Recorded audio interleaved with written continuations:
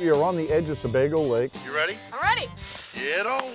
I got Michelle McAtee with me. Much better than being in the office. Oh, I'm telling you, there is plenty of ice. She's never been fishing. I'm gonna take her out and show her how to ice fish. It's pretty sad that I've never been ice fishing or fishing and I'm going out to get a hands-on experience now. I'm excited. Here we are. My home away from home. Today we're gonna use some jig poles. Do I get to run the auger? You're gonna help me run the auger. You're gonna do the whole thing today.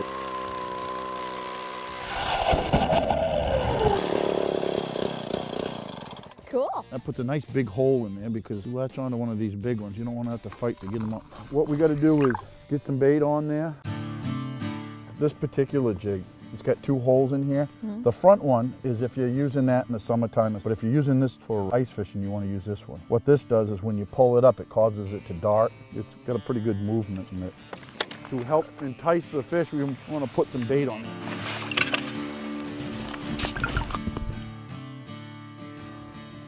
No. They're slippery little suckers. I hold my fingers on that hook right there, okay. and then I just take, and I put those two hooks down like that. Okay. Now you want to go get him back in the hole before he freezes. That's going to start going down. And you let it go right down until it doesn't go any farther. Yeah. Okay? I like to bounce it every now and then right off the bottom because there's some silt down there. And it causes this little like puff. Lake trout are very curious. They're going to come over and they're going to see what's going on. And that jig is now resting right on the bottom. So then once you're on bottom, you just click that up. We're only going to bring that up one foot. Mm-hmm. So now if a fish hits that, we're gonna be fighting that. You could ask 10 different people the proper way to jig and you're gonna get probably 10 different answers, maybe 11. Okay. You don't have to go frantic with it. You can let it sit for a second. When he hits that, trust me, you're gonna know. So you've talked a lot of smack. Loses are going. So they're I'm giving down. you the advantage. You're starting first and we'll see what happens. Okay.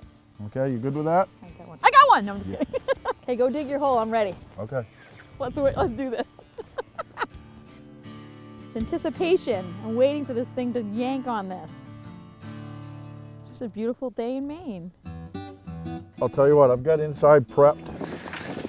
The fire going, get some food going, and we'll fish right inside and Sounds get good. some get some lunch at the same time.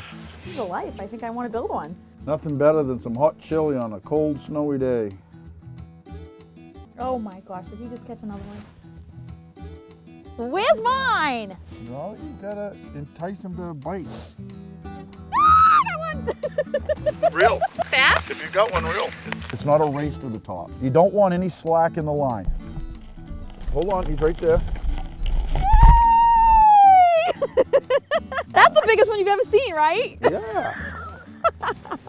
Well, it was a long day, but finally!